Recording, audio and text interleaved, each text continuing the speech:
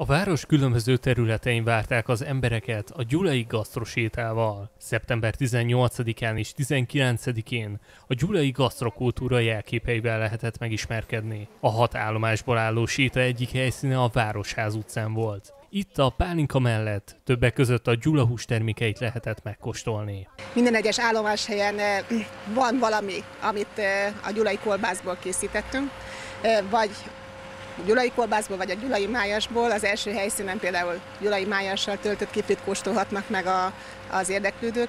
A mi standunkon e, e, gyulai kézműves vékony kolbásszal készített pogácsa az, amivel várjuk az érdeklődőket.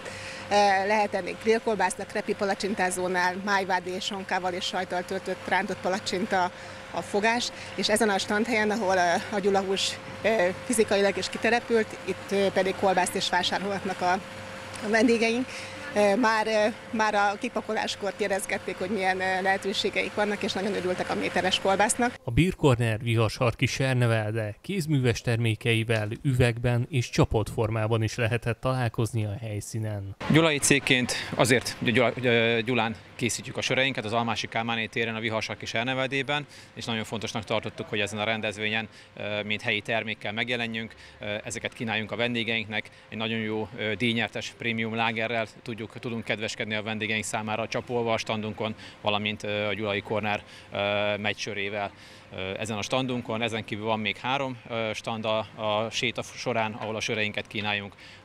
Ott a legutolsó állomáson, a Rondella terasznál ott négy, négyfajta csapolt sört is tudunk már kínálni a vendégek számára. A gyulai gasztrosétán résztvevő cégek a gyulai gasztrokultúra népszerűsítését tűzték ki célul.